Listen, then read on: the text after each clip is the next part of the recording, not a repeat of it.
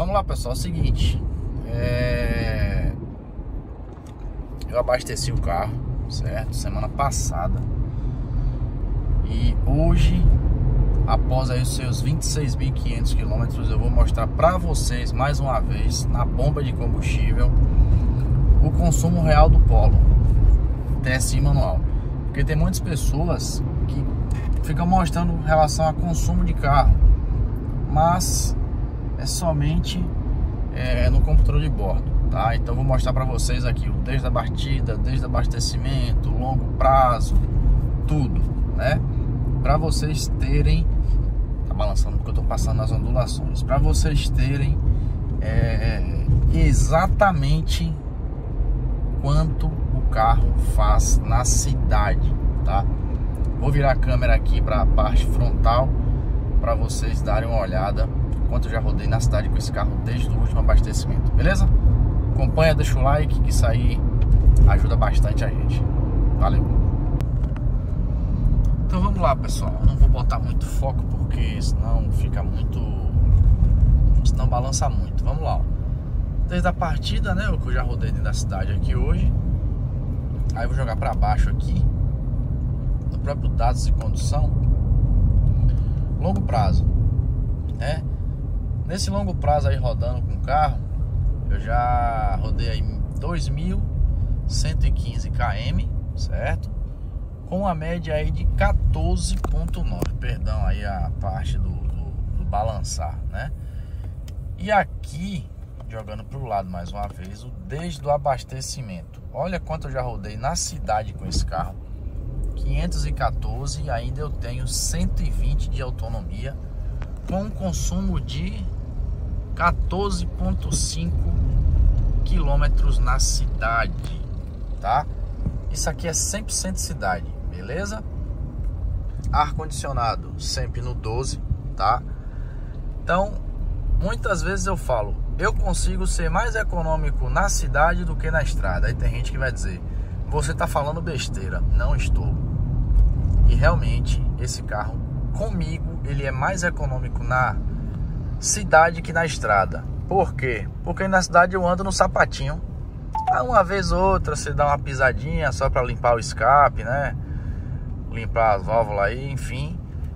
Mas de resto, a maioria das vezes é só no sapatinho, no modo econômico mesmo porque eu preciso de um carro com uma boa autonomia. Né? Deixa eu virar a câmera novamente para mim. Então, pessoal, dando continuidade, é... o Polo se tornou um carro bem econômico para mim na cidade, muito mais que o Polo MSI. Que o pessoal fala ah, em relação ao MSI, é, o carro é bom. O Polo MSI é um carro bom, é um carro que consome óleo, né? Nunca me deixou na mão. Uma vez eu dei uma reduzida nele, errei marcha na época eu tava com a cabeça no mundo da lua.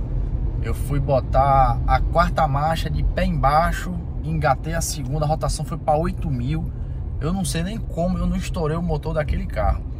Então, um motor muito bom, que nunca me deu, tô botando aqui por causa do peso do celular, que nunca me deu nenhum tipo de dor de cabeça, certo? E aconteceu essa situação que provavelmente, se fosse esse motor turbo aqui, a turbina já teria ido para o espaço, né?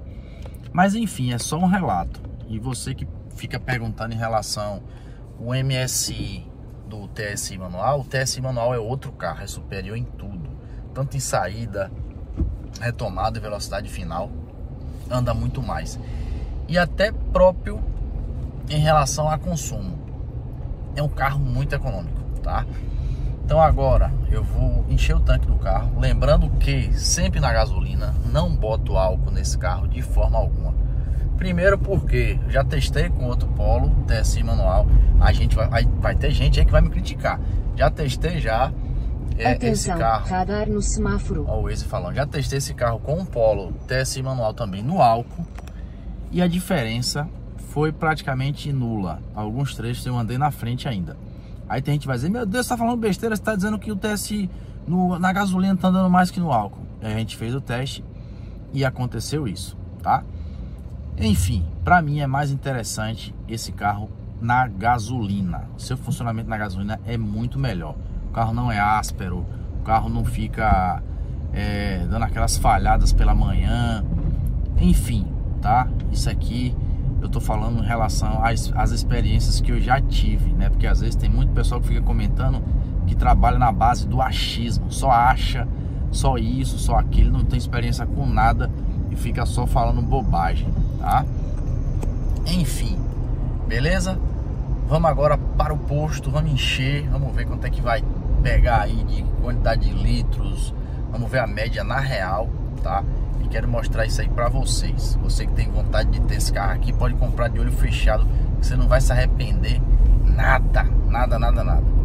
Muito pelo contrário. Na hora que você entrar no carro e começar a você vai dizer, realmente TSI Bahia falou, e o carro é outro sabor, até rimou.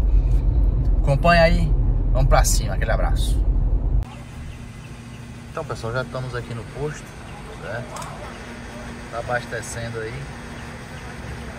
Eu não sei quantos litros vai pegar, mas aí já já é... na hora que encher o tanque eu vou mostrar pra vocês, beleza? Então, vamos acompanhando aí. Valeu! Vamos lá, pessoal, dando continuidade aqui, né? 234, né? 39.217 né? Eu não fiz as contas ainda. Aí eu vou pegar aqui agora. Desde o abastecimento, né? Vou fazer as contas aqui agora e já voltamos aí. Aí, pessoal, fiz as contas, né? E aí deu uma média de 13.2. Tá dando esse errinho aí de 1.3 km a mais com litro. Para mim uma média aceitável, certo? Eu agora vou zerar aqui tudo longo prazo. Desde o abastecimento ele vai zerar automaticamente quando ele rodar aqui, ó, quer ver? Eu vou andar um pouquinho, ó, já zerou desde o abastecimento, certo?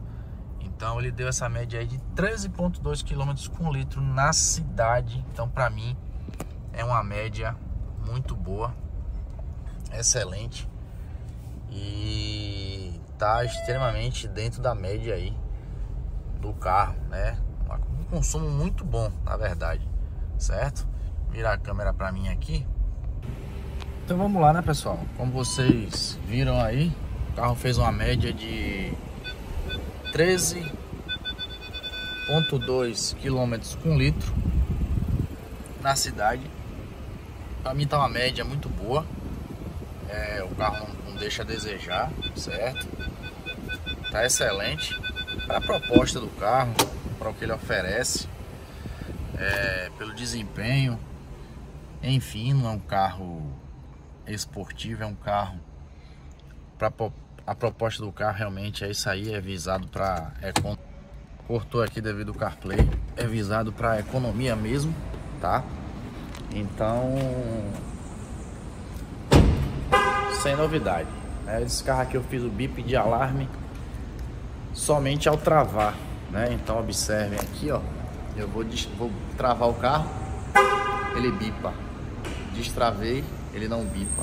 Inclusive também eu consegui botar para acender as luzes quando destravar o carro via software. E aí quando eu travo, ele automaticamente se apaga, tá?